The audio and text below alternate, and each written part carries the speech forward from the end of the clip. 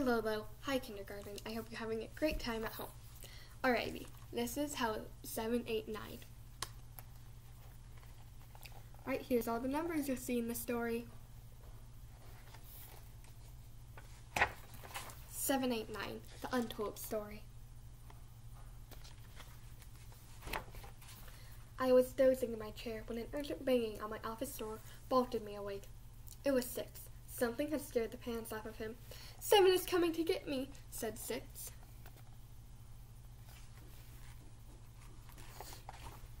As a private eye, I am used to his type. Numbers.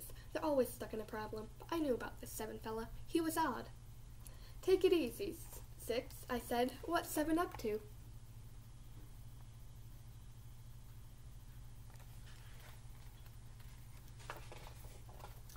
Word on the street is at 7 ate 9, and now he's after me, said Six. Well, technically, he's always after you. I said, there's five, then six, then seven. See, that proves it. I told Six not to panic. Stay here. I'll get to the root of this. I hope so, said Six. I fear my days are numbered.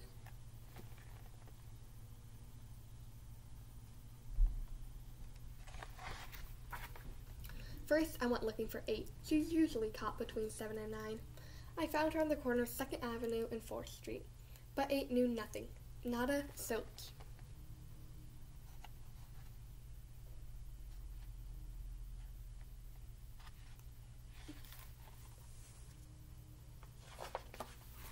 If it's true, said 8, then I'm next in line. She, in a flash, she took off her belt. Now 8 looked just like 0. Good disguise.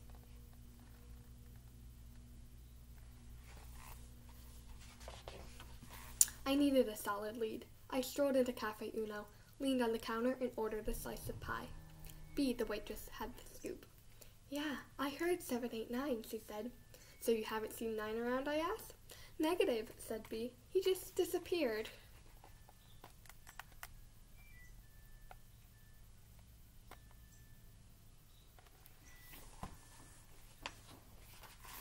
So nine was gone. I couldn't let seven be the one who got away, but I need more data. I want to see eleven. She and seven are like two peas in a pod. Seven couldn't have done it, said eleven. He's on a vacation. Are you sure? I prodded. I'm positive. I saw him leave.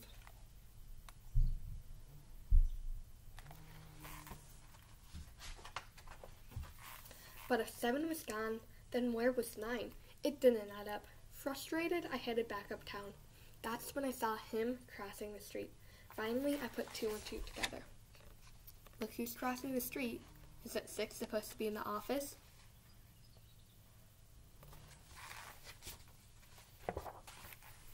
I had to get back to the office. On the double, I told the driver.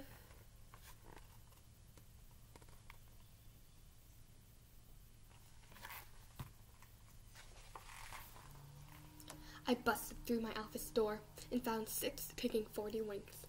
I have saw this numerical nonsense, I cried. I grabbed Six and turned him upside down. Just as I expected, his true color was revealed. My client, Six, was really nine.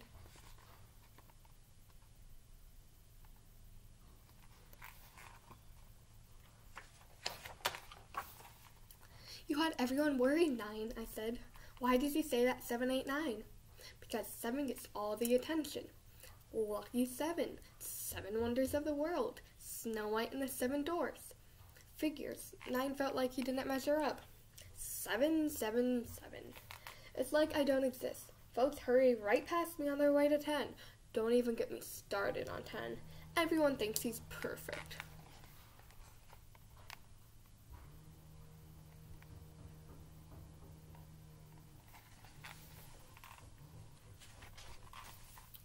I zeroed in on 9. Are you kidding me? You should be on cloud 9 right now.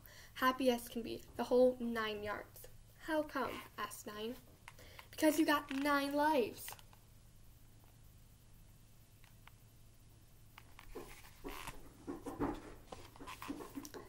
That's when 11 showed up.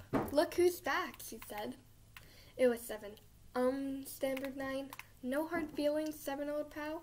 Sure, let's not be divided.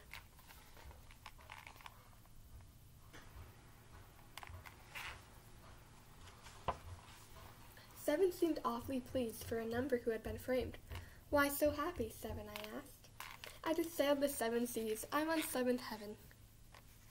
Look at all the pictures he took. That's a lot of pictures. At last, everyone was back in order, and now I could take letter cases again. Letters can be wordy that time, but they are a-okay in my book.